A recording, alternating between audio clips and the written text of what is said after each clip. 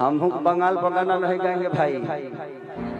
ना कब ticket cancel हो जाए पता नहीं के तो जय दोस्तों, कैसे आप लोग मैं आशा करता आप लोग अच्छे होंगे, स्वस्थ होंगे, मस्त होंगे। तो हाँ दोस्तों खेसारी लाल यादव जी का एक वीडियो बहुत तेज़ी से वायरल हो रहा है। दोस्तों वायरल होने की वजह दोस्तों खेसारी लाल यादव जी एक प्रोग्राम कर रहे थे दोस्तों।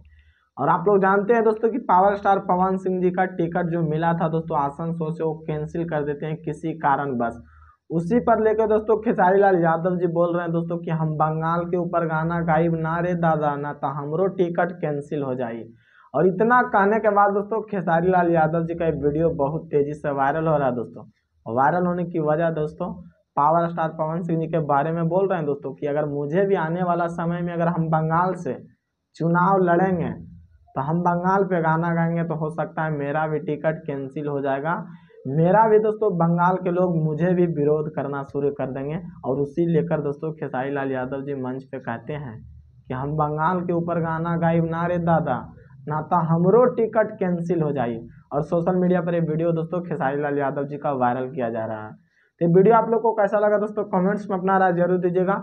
वीडियो अच्छा लगा होगा तो लाइक, शेयर ज़रूर कीजिएगा। बाकी फिर मिलते अगले वीडियो में। जय हिंद।